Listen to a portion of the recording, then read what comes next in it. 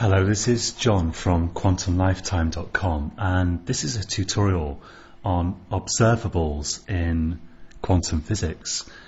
Observables are basically anything that we can observe. So let's think of a person, for example, in everyday life.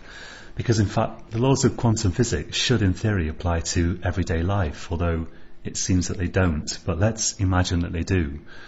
A person has certain things that you can observe about him or her. So you can observe the person's weight, for example, and the person's height.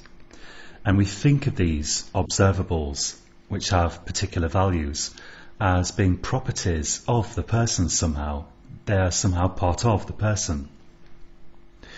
Now let's imagine that we want to measure a observable like a person's degree of calmness so we can imagine that a person might be not calm at all, so their calmness might be low, or they might have calm highness and be very calm.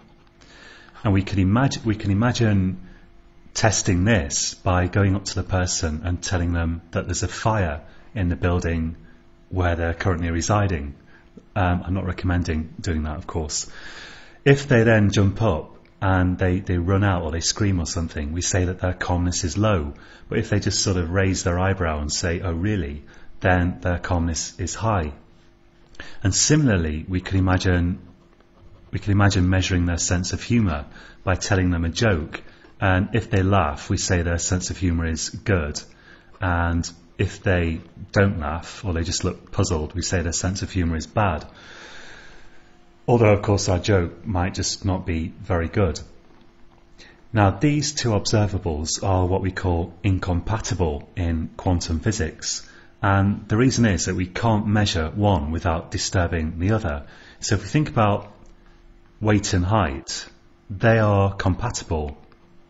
Compatible. In the sense that we can measure weight and then we can measure height. And our measurement of height doesn't depend upon our measurement of weight or anything like that. But calmness and humour are incompatible because let's say we go to the person and we say, the building's on fire, so we're trying to measure calmness, and then we say, why did the chicken cross the road? The person's gonna probably first rush out the building, and then if they hear us at all when we try to test their sense of humour, they're probably not going to be amused. Whereas the other way around, if we say, why did the chicken cross the road? We tell some sort of a joke and they laugh, and we then say, by the way, the building's on fire.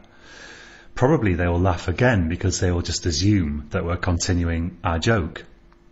And the main point here is that a measurement of calmness affects a measurement of humour, and a measure, measurement of humour affects a measurement of calmness. We can't measure both of these because um, we can't measure both of them in any sense accurately because measuring one affects the other. And a lot of variables are like that in quantum physics. The reason being that because very tiny things are easily disturbed, you can't measure very tiny things without disturbing them. And in fact, the kind of property that you're trying to measure is as much about the particular procedure you're using to measure it as it is about anything that necessarily resides in a particle. And it's like that with calmness and humour. What we're really doing here is we're applying a procedure and we're measuring the outcome of that procedure. And with very small particles, even measuring their position is applying a procedure that actually affects them and seeing what the outcome is. It's like measuring calmness or humour. And so for small particles, famously, momentum and position are incompatible. We can't measure one without disturbing the other. So these are all incompatible. And we're going to be looking at more of this later as we work towards creating a mathematical formulation for quantum physics. So that's it for this time, and join me again next time. And until then, keep it real.